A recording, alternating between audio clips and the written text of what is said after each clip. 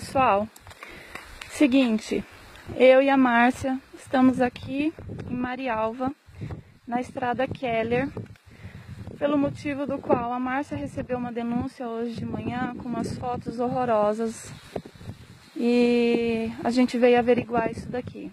E é o seguinte, a gente encontrou 12 animais mortos jogados aqui na beira da estrada. Vou mostrar para vocês onde a gente está. Ó, no meio do nada. E esses animais a gente constatou agora que eles foram descarte de uma clínica. Aqui vocês podem ver os sacos onde eles estavam e alguma coisa ou alguém rasgou. Num dos sacos a gente encontrou o nome Boris Shih Tzu. E vocês me desculpem a cena, mas a gente vai mostrar os animais. Porque eu acho que se algum proprietário identificar, não vai gostar nada nada de saber que uma clínica fez isso. E a gente vai descobrir.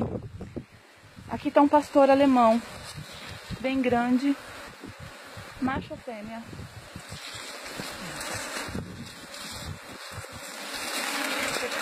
Fêmea uma fêmea. Aqui a gente tem todos esses animais. Desculpem a cena, gente, mas é necessário. Temos um shih tzu, um peludinho, um filhote, duas SRD, essa poodle que ainda tá de lacinho. E o pior de tudo, esses filhotinhos aqui. Todos os filhotes estão com uma medicação injetada.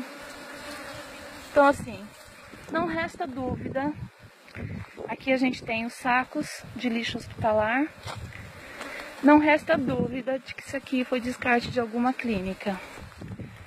Um absurdo, um horror. Então a gente vai descobrir. É, a Pudo, ó, ela fez cirurgia. Então essa Pudo tinha dono, claro, todos eles tinham dono. E a gente precisa descobrir quem foi que fez isso. Isso aqui é uma falta de respeito com as pessoas, com os animais e com o meio ambiente. Nós vamos descobrir.